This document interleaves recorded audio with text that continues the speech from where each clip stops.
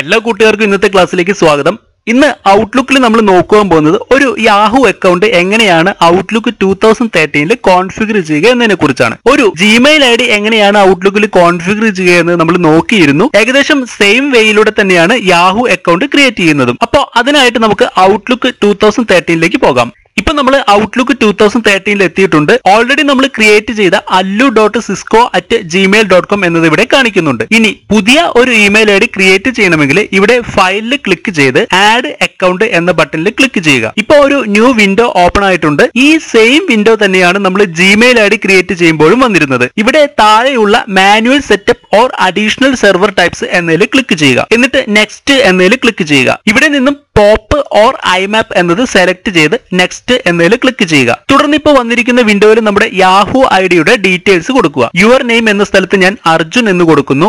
Email address Arjun dot Canberra at Yahoo dot com എന്ന് കൊടുക്കുന്നു. ഇവിടെ അക്കൗണ്ട് ടൈപ്പ് ഐമാപ്പ് എന്ന് ചേഞ്ച് ചെയ്യുന്നു. അടുത്തത് incoming mail server IMAP dot mail dot Yahoo dot com എന്ന് കൊടുക്കുക. ജിമെയിൽ ഐ ഡി കോൺഫിഗർ ചെയ്യുന്ന സമയത്ത് നമ്മൾ IMAP dot Gmail dot com എന്നായിരുന്നു കൊടുത്തിരുന്നത്. പക്ഷെ ഇവിടെ യാഹു ഐ ഡി കോൺഫിഗർ ചെയ്യുമ്പോൾ IMAP dot mail dot Yahoo dot com എന്നാണ് കൊടുക്കേണ്ടത്. അടുത്തത് ഔട്ട് ഗോയിങ് സെർവർ അത് S M T P dot mail dot Yahoo dot com എന്ന് കൊടുക്കുക.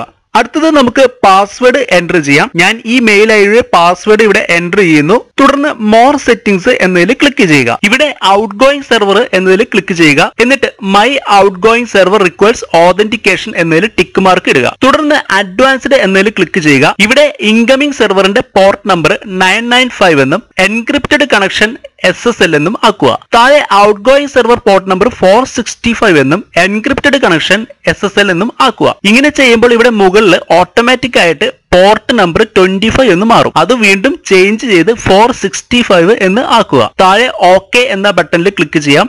ഇപ്പൊ നമ്മൾ ആ പഴയ വിൻഡോയിൽ എത്തിയിട്ടുണ്ട്. ഇവിടെ നെക്സ്റ്റ് എന്നതിൽ ക്ലിക്ക് ചെയ്യുക. ഇപ്പൊ നമ്മൾ കൊടുത്ത കാര്യങ്ങളെല്ലാം തന്നെ കറക്റ്റ് ആണോ?